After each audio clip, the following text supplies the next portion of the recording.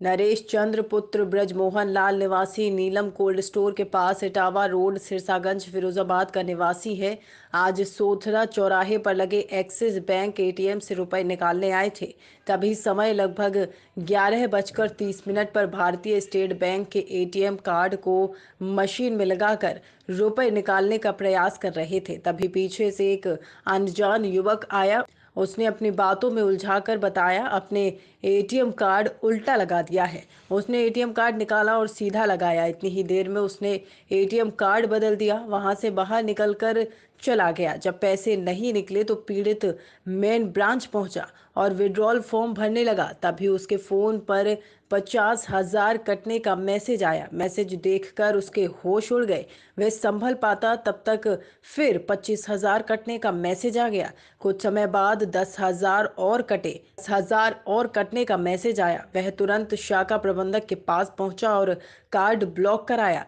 थाना सिरसागंज में तहरीर भी दी है। होने वाली घटना का वीडियो में ठगी के हुए शिकार व्यक्ति ने बताया है। बाबू क्या नाम है आपका? मेरा नाम एक सूदर मेजर नरेश चंद आज क्या घटना हुई आपके साथ? मैं सूत्रा चौराहे से एटीएम से पैसा निकालने के लिए आया था। कौन सा एटीएम का? एक्सिस बैंक का था।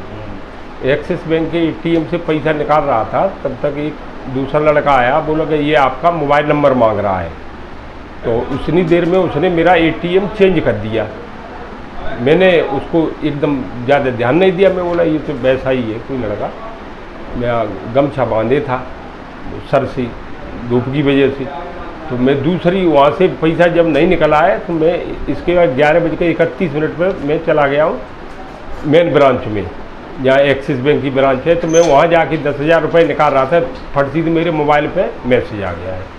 कि आपका पचास हज़ार रुपये विड्रॉल काट लिया है आपका। अरे मैं बोला मैं पैसा एक भी नहीं लिया काट के दिया तब तक जैसे ही मोबाइल हुआ है दोबारा फिर मैसेज आ गया पच्चीस हज़ार फिर काट लिया।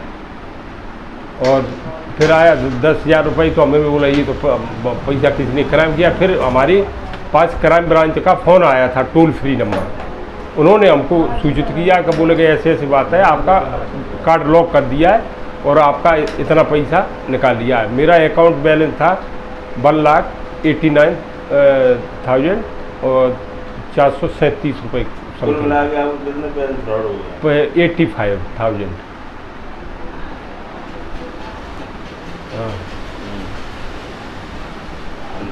थाने अब बता थाने। में लिया आया हूँ।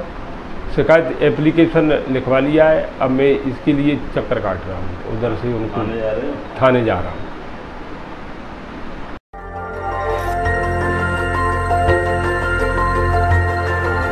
देखते रहिए डीबी भारती समाचार। नज़र हर खबर पर।